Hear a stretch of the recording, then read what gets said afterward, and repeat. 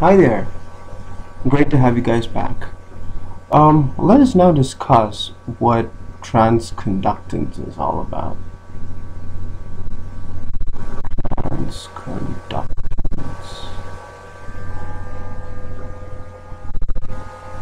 Um, I'm guessing that you've watched the videos on uh, the equation of a equation of current in a MOSFET or at least you're aware of the equation of current in a MOSFET. If not, uh, please do so right away. It's just that you'll, you will be able to better take part in this discussion.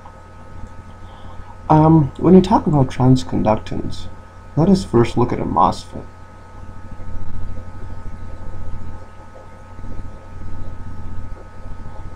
A MOSFET converts whatever gate voltage you apply into an effective current. How? If you look at it, you have the source, you have the drain, and you have a channel here, right? You're going to have electrons flowing inside the channel based on a certain gate voltage uh, applied. Of course, it'll, it'll pass over the oxide and then be effective, so the effective voltage is always VGS minus VTH, VTH being the threshold voltage. So, um, as in anything in the world, if you give any device or anything any input, you would love to know what the output is, correct? Having said that, you would also, now that we know um, in a MOSFET, what is the input? The input is the gate voltage and the output is a drain current. Now that you know input and output, you would also like to know as to how much output is received or how much output is obtained for a given input, correct? What is this output over input ratio called? It's called efficiency of any device of anything in the universe. Likewise, for our MOSFET, we're going to define an efficiency parameter, and that is called transconductance. What it means is you're going to be looking at how much current you get based on the gate voltage you apply, right? This is the input, this is the output. Matches the efficiency definition? So transconductance is nothing but the efficiency or the sensitivity of your MOSFET. Now, um, because we're dealing with signals in analog electronics, you would deal with the difference in current produced based on the difference in voltage in the gate voltage. Uh, why we talk in terms of difference, we can come back to that later. It's not really important for this discussion. But what is important is you understand that uh, transconductance only means the amount of current you're producing based on um, the gate source voltage you're applying. Okay, let's look at a small example as to um, so now that this is um, um understood, we also put a little condition here when VDS, the drain to source voltage, remains constant. So if you look at an example, you go to a MOSFET vendor and he says, hello there, I've got a MOSFET here that has a high GM.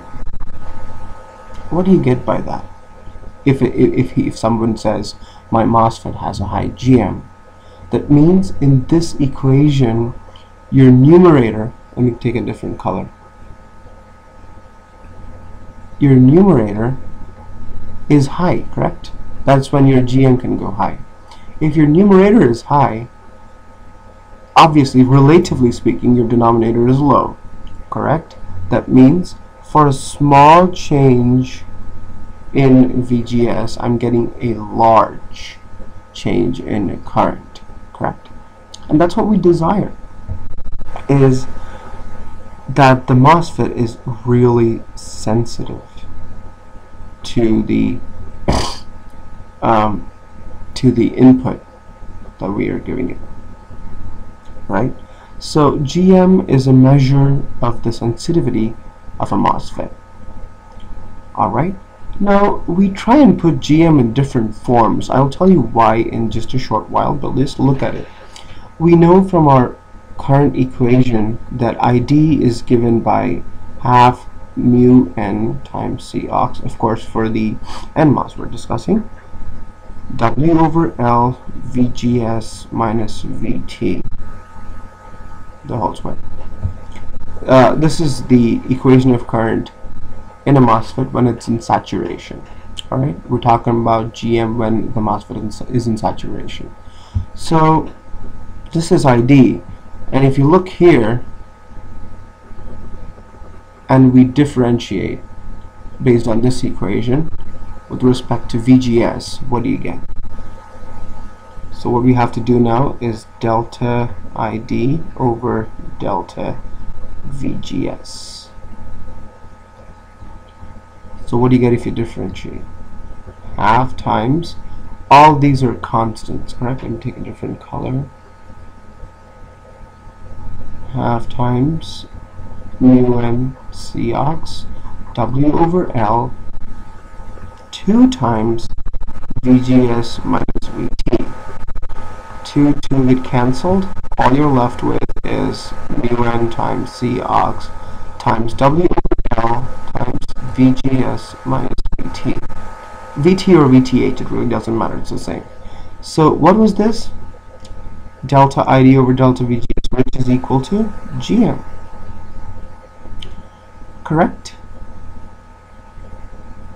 Now, um, let us look at why we have derived this new form instead of the simple delta ID over delta VGS. We have derived it because we want to check the performance of the MOSFET in different conditions. For example, in this equation, what you see is if I keep, uh, well, there's no question about keeping mu n and Cox constant. They are going to be constant because that they are decided when you decide on the manufacturing process of your MOSFET. Okay, so it is given that they are constant.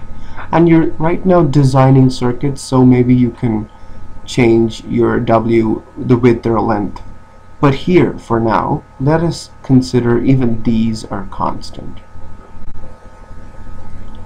what would happen to GM if your VGS were to go high? GM would increase obviously. Even VT is constant because it's the threshold and doesn't change.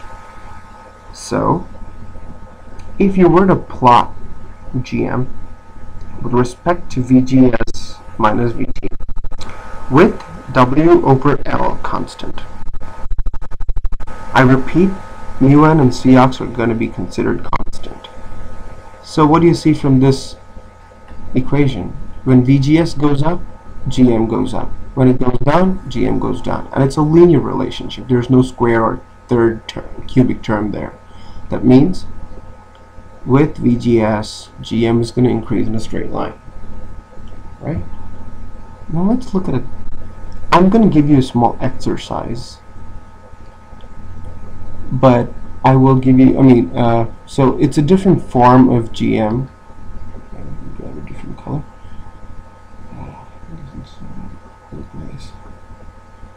Okay. It is given by root of 2 times mu n times C ox times W over L times ID okay? It is very simple to derive. You just have to work on the previous equations I've given you in this discussion. But if you were to analyze this uh, equation, what do you see? Mu n is constant, Cox is constant, W over L is constant again, if. And if you had to plot this on a graph, what would you get? Uh, let me take a different color again. You would get GM versus ID graph, correct? Now, these are constant. Again, with an increase in ID, your GM is going to increase. But of course, they won't be a linear relationship because ID is under the square root, okay? But nonetheless, with an increase in ID, you're going to have an increase in GM. So your graph looks something like this. It have a certain it has a certain curve. Okay. Right, right. Let's look at a, another form. Again, this is as an exercise for you. GM equals 2ID over VGS minus VT. Again, if you see here, what happens is if you keep your drain current constant and if you look at the variation of GM with VGS and VT, what do you understand? With an increase in VGS, you're going to have a decrease in GM. Why? Because this, this is in the denominator. The denominator increases, the whole thing reduces in value. So if we were to plot this on a graph, what would we get? VGS minus VT, GM with ID constant. It gives us a graph that looks like this. Okay? So that is the reason we look at various forms of GM. Okay, I will write all those forms again so that um, you can note it down. Oh, we're out of paper here, but let me. Okay. Um, okay. All right. So let me write down the different forms of GM that we've looked at today. Delta ID over delta VGS is the most basic form of it when VDS is constant. GM is also equal to mu n times Cox times W over L times VGS minus, this is S minus VT. Forgive me for my bad handwriting, please. GM is also equal to root of 2 times mu n times Cox times W over L times ID.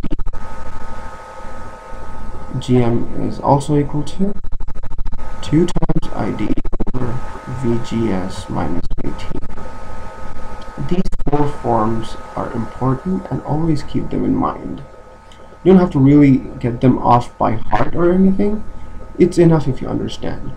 So what, again, as we saw the graphs for each of these cases, what these help you in understanding is suppose some term is constant I know how my GM varies based on how one parameter of the circuit varies, correct? And that is how it helps you to understand the efficiency or the sensitivity of a MOSFET. Alright, it was great discussing this topic with you. I hope you found it useful. I'll catch up with you later. Thanks.